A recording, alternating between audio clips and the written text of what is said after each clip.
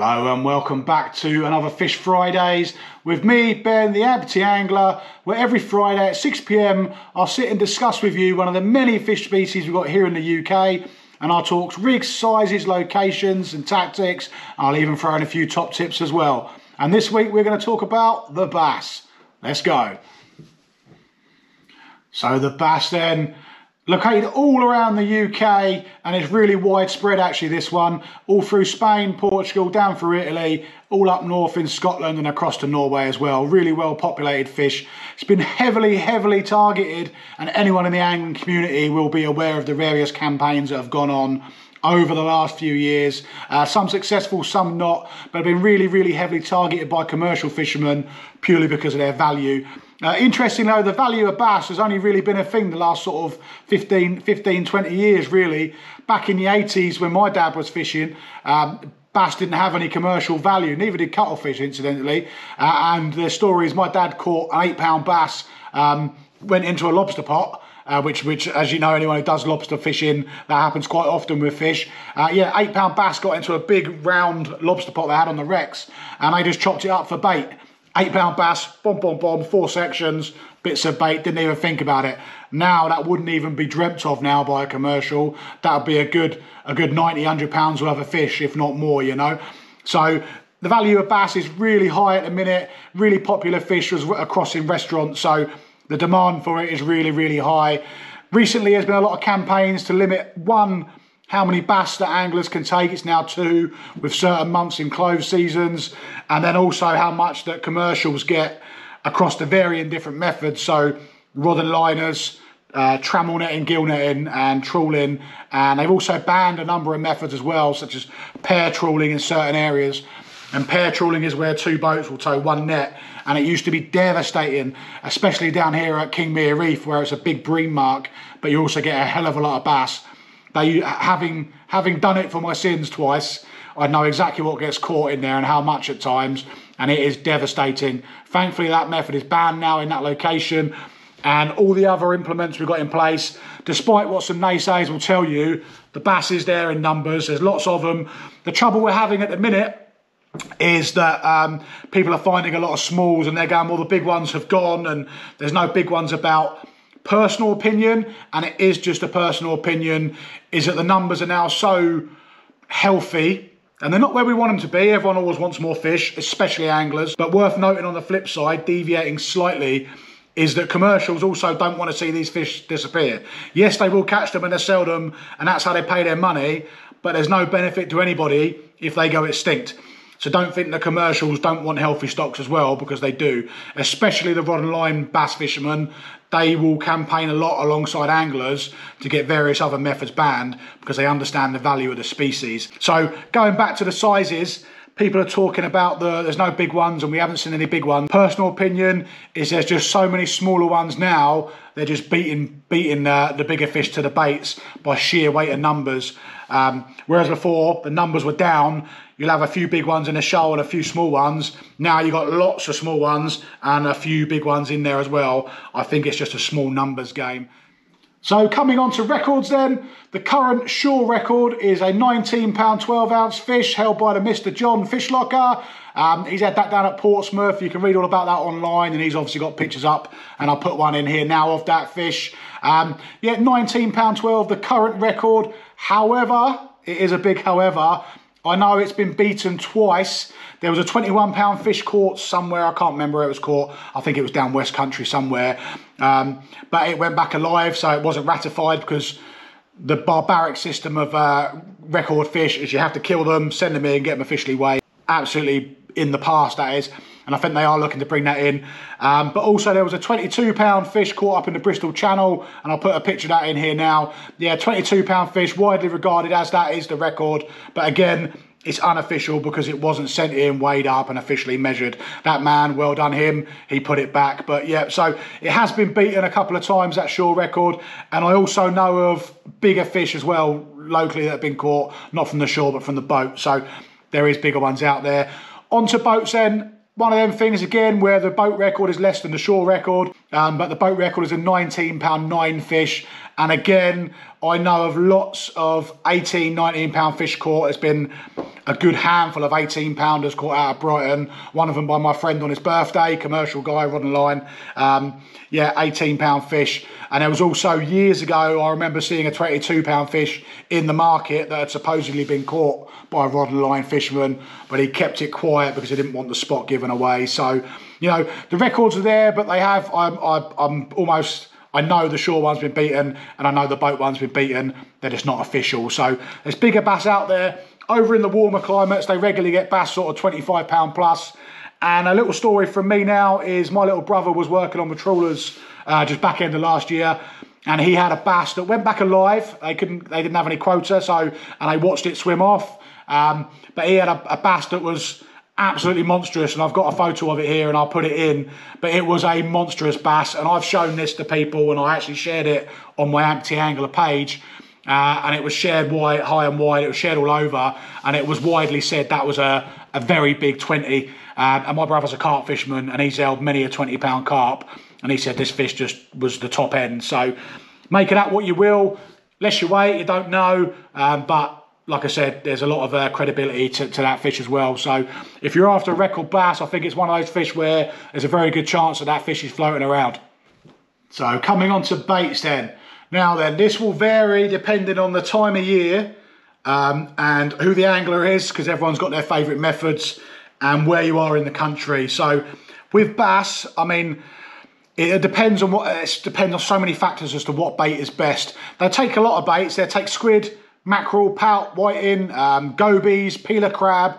They, they, they'll eat a lot of different baits, but certain baits will work better at certain times of the year and certain times of water clarity. So if the water's crystal clear or it's murky, one bait will outfish the other. Uh, but generally speaking, live bait is king, live pout, live whiting, or a blenny or a goby, that tends to be king. Out on the wrecks, scads. My favourite live bait is baby scad, the little four to five inch ones, because they're more hardier than a mackerel, I find, tend to last longer, can take a hit or two. Um, but yeah, baits wise, that's how you're going to fish for these with you know a nice whole squid on a pennel. Um, and then obviously a live mackerel hook once for the nose, or you can piggyback it, so hook through the back. Um, there's a number of ways you can do it, um, but generally baits, it's going to be what is in the area. When the squid come in, March, April time, and then back end of autumn, squid bait's going to be what they're going to be so focused on. Big, big calorific meal. What I mean by that is they're not eating little tiny shrimps where there's not much calories in it for a bass. Bass are very switched on. They will know what's going to fill them up and what's going to give them the most value. When them squid are in, they're going to be on there for three, four weeks bang, and they they sometimes ignore other baits to focus on what is there. The whole match the hatch thing comes in to play when you're doing this. It's no good giving them something that's not there or that they're not feeding on because they just won't take it. Uh, spider crab is another good one. When spider crab come into peel, what I mean by that is they're shedding their shells. Bass fishermen will go down and collect them from the rocks or they'll speak to commercial friends when they get them in their nets and they wrap it all up into little sausages and that is absolutely deadly for them. And they sit there from the shore and this is touching into methods a little bit now but they're cast out just behind the second or third breaker in two three foot of water with this with this crab bait or a squid and they'd be pulling out big double figure fish and you'd be surprised at how shallow you will get bass in. The killer bait for if you want to catch a bass of any size and it's almost a cheat code is live prawn. Really easy to collect, harbours, rock pools, marinas. You can use drop nets, traps, or just scoop nets or a push net as well. A lot of people do down on the sandy beaches. Um, but live prawn, hook once for the tail, either on either free lined, a running ledger, or a float, which I'll come on to in a minute. Absolute cheat code. It does tend to get a lot of smaller fish. If you're after a big one, then you want to be sticking a whole squid on or a mackerel. Um, but prawns, absolutely deadly. I would say for overall catch rate, prawn is probably up there with the best bait in terms of numbers. Not quality, but to catch a bass, oh, we used to go and sit down at Newhaven Swing Bridge with a couple of SSG split shot on a straight on, on a mono line, single prawn on a hook, just flick it out and you used to pull schoolies out 20, 30 at a time for a session all day long on live prawn. Um, uh, it does get the bigger fish if you're fishing it right on a, you know, you're setting your depths right on your float and your rest of it. But generally, Oh yeah, absolutely killer. So tackle then, so depending on how you're fishing, um, lure fishing, nice light spinning rod, Storm GT, fish minnow, whatever your preference is. Surface lure, hard plastic, soft plastic. Lure fishing for bass is absolutely brilliant. And I've got friends that make a living doing it for charter boats and also guiding from the shore doing that real, real fun way of catching bass on the lure. Um, so any spinning setup you want, little, little sort of three or four thousand spinning reel. I've got a um, a Penn Battle Three is what I use. I use that for a lot of fishing, but I use it for the bassing as well. Um, and that'll take a light ledger as well, two, three, four ounce lead plopped about, and all your hard and soft plastic. So yeah, nice spinning setup. Uh, from the shore then, depending on how you're fishing, a heavy carp rod will probably do you in some instances with a nice heavy bait runner or a pit type reel. If you're going to sit there and touch ledger, um, which will come on to rigs in a minute. Um, but yeah, other than that, you'll find a lot of people will get bass on any manner of, manner of rigs and tactics at certain times of the year.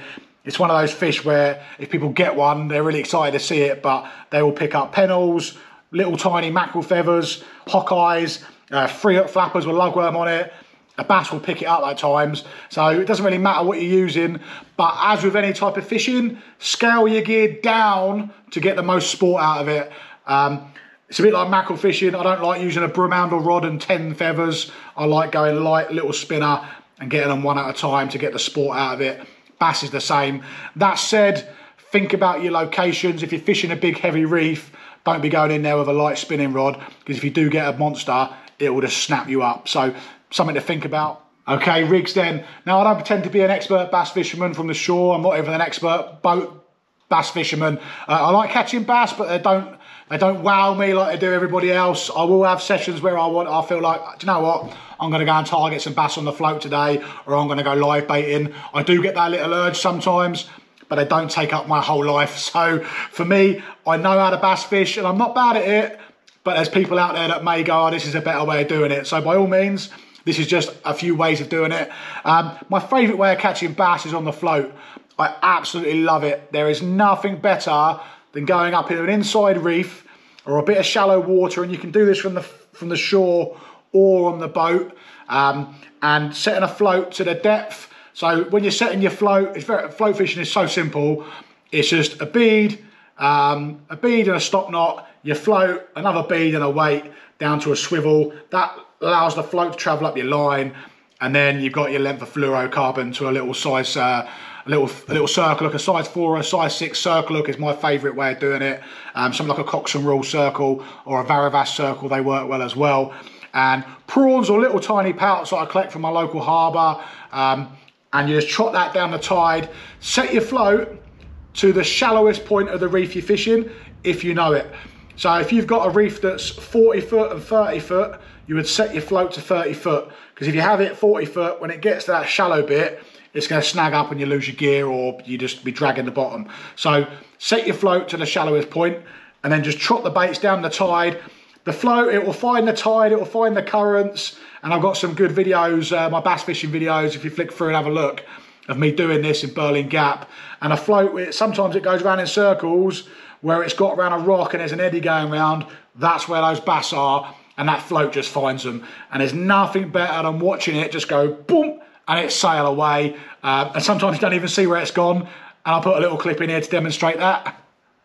Sat there watching it when you float fishing, you're like, where's the float gone? And suddenly it dawns on you, it's gone under. So yeah, float fishing, my favourite way. Another way of doing things is um, is touch ledgering. So this is a bit of a bit of a dark art. It's a bit of a skill to it. Um, and the, the pros who do it, and I've got some very, very good bass fishermen friends who do this every day of the week when it's blowing a storm force, whatever, and it's 30 mile an hour southwesterly winds, and a southwesterly here on the coast is, is generally a preferred direction uh, for bass fishermen. When everyone's locked up at home for hot chocolate and a, and a, a blanket, they're out there standing there with their rod in their hand, finger over the line, and they've cast 20, 30 yards out, literally behind the breaker, and they're standing there holding it, waiting for that rod to jerk out their hand. And they have some very, very big fish doing that. We're talking 16, 17 pound fish, you know, uh, loads of doubles. That's how the, the big girls fall, is to generally to touch ledger in, in a storm on a nice shallow beach. And again, I've got people that travel up and down the country chasing the big fish who are very, very good at it. Um, their baits and methods, they vary, but again, squids, little joey mackerels and all the rest of it, okay, that's generally how they're doing that. Um, they fish a lot up rivers as well. You actually get a lot of bass up rivers. There was a 18 pound bass caught on a roach live bait, I think 12 or 15 miles, maybe even more, up the River Arun uh, in, in virtually fresh water. So they, the bass will travel up as well, but ledgering, gonna catch them like that. On a boat, it's gonna be live baiting primarily if you're over wrecks or lures, but that's gen generic lure fishing, however you're gonna do your luring. Um, on a boat, it's gonna be a live bait rig, so a running ledger, locked in lead, or, or however you're gonna fish it. You can fish it with a three-way swivel, with the, the bit offshoot, have your live bait like that. But it's gonna be lip hooked through the nose of a mackerel or a pout, and you're gonna drift over the wreck or the ground, and you're gonna be keeping in touch with the bottom, couple of turns up, and you will know when a bass is near because the live bait will start going crazy because it doesn't want to be eaten. So if you're getting the odd nod and suddenly your live bait's going crazy, brace yourself because there's a fish coming. Almost nine times out of 10, that's a big indicator that there is a bass nearby. And occasionally a pollock will pick it up as well. Don't think it's just bass that will take a live bait out there on the water. Um, so yeah, great indicator is the rod going crazy. Now another method that I've tried and I actually quite enjoy and I started doing it when I had my old boat, Bonefish, and we could get right up inside on the reefs. Uh, and it's a method that the old boys always used to talk about when I was in the tackle shops. Uh, and down here we've got two piers and one of them's closed now. But it's a really high pier. And they used to go, oh no, you do this method here, you loads of bass, big bass. And I used to sit there as a kid and take it all in. And it's basically where you get a weight on the end of your line and onto a length of, uh, length, doesn't have to be fluoro, it's a length of mono with a swivel um, so basically, it's on like a, you know, it's, it's on the, doesn't have to be a rotten bottom, but a swivel stops your bait sliding further down to the weight. So you can make that 30 centimetres, 60 centimetres, and that's it on your rig to the rod. And then they cast that out to wherever they want to fish off this pier. And then what they do is they wind down tight, stick it on a rod rest, and then on a length of fluorocarbon with your bait on it, so your live pout, your mackerel, whatever it is you're using, you have a large clip swivel, and all you do is you clip that to your now tight line, and you send the pout down and you can use the rod to bounce it down if it's not traveling down on its own depending on the height of the uh, pier you're fishing from. Yeah and that pout hits that water and because it's on that swivel it has the freedom to go up and down in the water column. All the way down to that swivel that you set by your weight that pout can travel up and down up and down and the bass go absolutely crazy for it. And I did it one night with Dino last year or the year before in Bonefish and we were sat there and we did it from the boat. So flick a lead out, put it in the holder, clip your bait on and send it down. In pure pitch black darkness, bass were jumping everywhere around us, and we had five fish in five minutes. It was literally one would go, and at one point we had three rods going. It was absolutely chaotic, and it was a uh, when I just started filming, I hadn't quite worked out how to get the best filming at night. Uh, I wish we had done because it would have been an epic session. But they were just bomb, bomb, bomb, bomb, bomb, and it, they absolutely going crazy for these clipped on pout. They were loving life. So that's another method you can use. And I will do a video on that, that method actually, because it's, it's an old boy method, but that saying of the old ways are the best ways, I'm a big fan of that way of fishing, big fan, especially anchor, onto a reef, love it. You can sit back off a mark, so your boat doesn't scare the, the fish, cast the weight onto where the, where the reef is, and then send your bait down to it. And over as it as it as time goes on, five minutes, ten minutes, that pout's going to be swimming down over that reef Oh, absolutely delightful.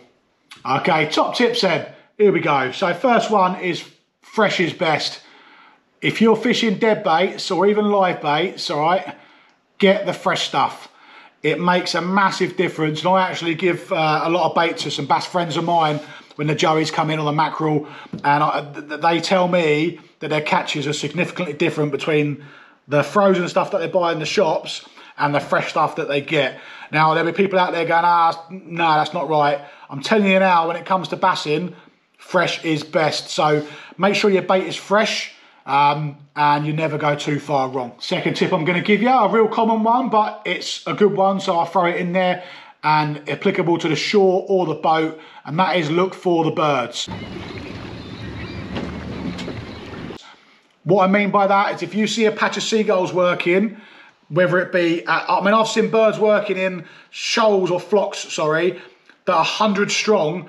I've seen them 10, 12, 15 miles offshore and there's a bass shoal there working bait fish up, be it mackerel or herring, whatever it is. And I've seen them miles offshore, and when you go in there, it's all bass. So don't ignore the signs. You go out wondering where these fish are to a mark and you think, oh, there might be some fish behind there. They have a bird's eye view. They're often 50, 100 foot up. They can see things that you can't see at ground level. Look for the birds, find the birds, and you find the bass. Same from the shoreline. If you see a lot of birds working, might just be mackerel chasing whitebait, but primarily where there's mackerel shoaled up, there's definitely predators below them. You just got to get there and find them. So look for the birds, find the bass. Okay, third tip I'm going to give you then is from the shore, all right? So no one likes seaweed when they're fishing. People hate it. Clogs up your line and the rest of it. I totally get that, understand it. However, from a bass point of view from the shore, if you're on a shingle beach, take a look at where the tide line is washing up the seaweed because when you go along there, what you're going to see is that seaweed as the tide comes in and out and vice, you know, happens all day long, every night, every day. That seaweed dries out, flies get on it, maggots happen, tide comes in again, those maggots wash into the water. Bass will go absolutely mental for this, absolutely crazy, and you will get more success bass fishing where there's loads of weed washed up on the beach, unless there's features out there on the ground. But generically speaking, if you've got a nice shingle beach or a sandy beach, look for where the seaweed is washed up, because that's where all the bait is going to have washed up as well, and that's where you're going to be wanting to sling in your baits. In that seaweed, just, just little, little, little flicks out, and you're going to find a lot of bass in there, because they're going to be picking off all the flies and the maggots and whatever else on that high tide line when that tide washes back in. Fourth tip for the bass end, you're getting a few from me today here, all right? Um, this is uh, primarily beginner level. However, um, it's applicable to a lot of adults as well because I see adults doing it from the shore. And I don't do a lot of shore fishing now because of my legs, clearly, but I know how to shore fish for bass. Don't cast out too far all the time. Sometimes you need to punch bait out, especially when you're plaice fishing and stuff like that. I get it. People want to blast it out. But the same thing actually applies for those sort of fish as well. More often than not, the fish are only 20, 30 yards out. They're not out there miles out in the deep water. And quite often you'll be casting over them and you'll be thinking, oh, there's no fish here. And they'll be working, they'll be working the shoreline. I've seen bass in Cuckmere River, just around the corner from me. It's a, it's a big reefy area. It's got a river that runs up. Really good for bass in its own right and flounder. When I was commercial, I've been in there before and the bass have been that shallow, I've sat there rod and line fishing for them and their backs have been out the water. Their heads down in there eating them prawns and them crabs. As that tide washes in, an area be, can be completely dry. As that water washes in, all those crabs and crustaceans that are living in those little tiny pockets of water that can't get anywhere because they've been dried out almost, as that tide washes in, then bass are there. They're literally almost swimming on the land to get in there. And I promise you that is the case. And again, people from the shore are casting right out and the bass have already gone past where they've cast and they're in nudging the shore trying to get these fish that's been exposed in the in the in the rock pools for so long. So don't cast out too far. By all means, if you've got two rods, bang one out, do an, uh, literally an underarm hand flick. 20, 30 yards behind a second or third breaker. Generally, that's where you're going to find them in the surf. So think about it, be smart, vary your options, and don't discount the fact that more often than not, they're probably at your feet. Well, that's been another Fish Fridays. Thanks for watching. I do hope you're enjoying these. I'm getting a lot of positive feedback from them. We have got a whole series on Fish Fridays, which depending on when you're watching, will either have six or seven videos, or it might have 40 videos, depending how late you're joining me to my channel. If you're late, where have you been? But please do like and subscribe, and I'll catch you again next week for another Fish Fridays. See you soon.